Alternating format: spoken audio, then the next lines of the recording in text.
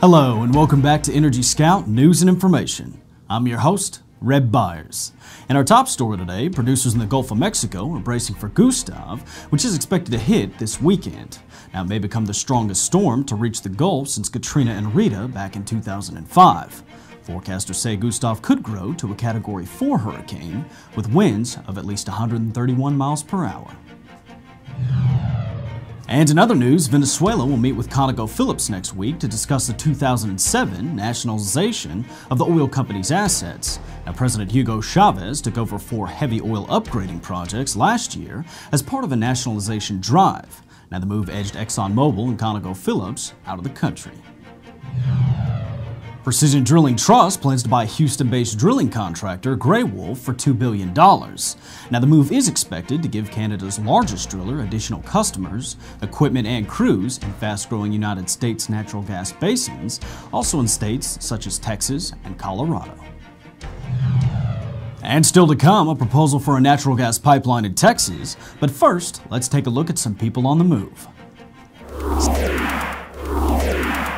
Setco Oilfield Services has appointed Shrikant Kelkar to technical sales for its Middle East operations. Paul Gallagher has been appointed Vice President of Parsons Commercial Technology Group's Energy Infrastructure sector, and Devon Energy has appointed William Whitsitt as Senior Vice President of Public Affairs.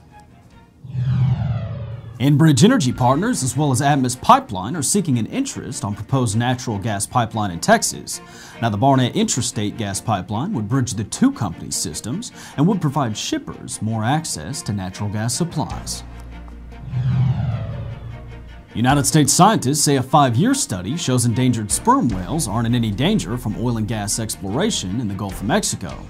The University of Texas at A&M led study indicates noise pollution, especially noise generated by seismic air guns during geophysical exploration, and determined that a minimal effect is happening on the whales. And finally, the city of Ararat, Australia is about to start a unique biodiesel trial program. Now, this involves algae being grown in six ponds to produce oil that is turned into biodiesel.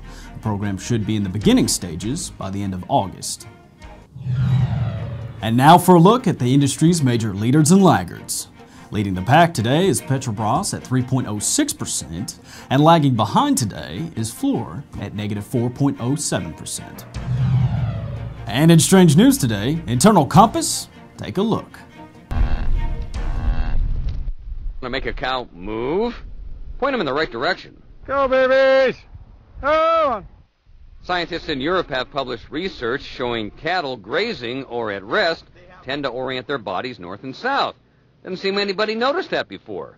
But when we went up to Triple C Ranch in Sonoma County, whose 440 cows produce Clover brand milk, it turned out, hey, that looked right. We have one group of cows laying right there under the tree line. We have this group where we are right now. And if you look out there, there's another group of cows directly in line, and there's a group of sheep on the other side. And all these cows have the freedom to go in any direction in this field, but they're laying exactly in a straight line. North and south. North and south. Bob Camozzi is the fifth generation to farm this land in Two Rock Valley, and he was surprised.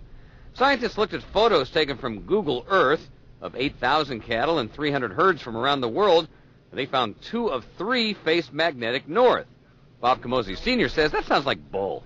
Somebody probably in a satellite looked down and said, oh, look at those cows are laying this way and laying that way, and that's what news is all about. Yeah, but which end faces north? And second, you better hope there's no downwind in any direction. And that's it for today's Energy Headlines. If you have any news from around the oil patch, be sure to contact us at EnergyScout.com. Don't forget to join us tomorrow for more news in the energy industry. For Energy Scout News and Information, I'm your host, Red Byers.